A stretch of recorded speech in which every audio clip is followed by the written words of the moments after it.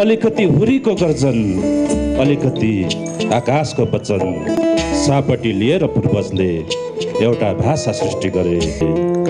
म त्यही भाषामा सपना देख्छु।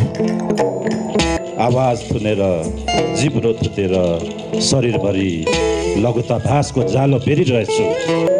अलिकति पर्वतको गीत अलिकति झरनाको सङ्गीत र अब कवि प्रकाश थामसुङलाई म यहाँ आमन्त्रण गर्न चाहन्छु। चन्द्रवीर तुम्बाबु कविता र सङ्गीतको अनुष्ठानमा पाल्नुभएका सम्पूर्णहरूलाई हार्दिक नोगेन भने। भाषा।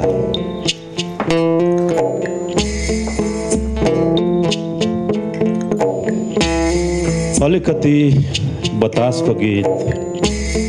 अलिकति नदीको सङ्गीत। अलिकति मेघको गर्जन अलिकति स्वरको वचन।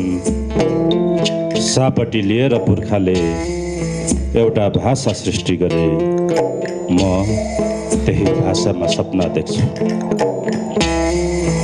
मेरो इन्द्रियलाई हरदम झङ्कृत गर्ने अवचेतनमा लिपिबद्ध त्यही भाषामा जब आफूलाई अभिव्यक्त गर्न खोज्छु शब्द कमजोर हुन्छ व्याकरणले शुद्धि हराउँछ ध्वनि भित्रभित्रै दब्छ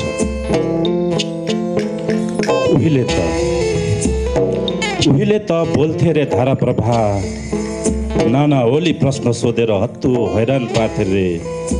बोजू भन्नुहुन्थ्यो मेरो वाक्य फोड्दा पहिलो बोली थियो रे आमा। यति बेला यति बेला आमाको स्पर्शबाट विमुख रित्तो रित्तो म मौलिक ज्ञानबाट वञ्चित। हेर्नु त आवाज थुनेर जिब्रो थुतेर शरीरभरि लघुता भाषको जालो बेरिरहेछु। कि त कि त जोगिन चाहे आरोपबाट जस्तो लाग्ने गर्छ। आतङ्कारी साम्प्रदायिक जङ्गली हे मेरा आदिम पुर्खा तिमीहरूले दुःखले बचाएर ल्याएको भाषा बोल्न असमर्थ छु कि भाषिक अतिक्रमण अघि पराजित म भर्खरै बुझ्दैछु एउटा सत्य। भाषाको अस्तित्व शक्तिले निर्माण गर्दो रहेछ।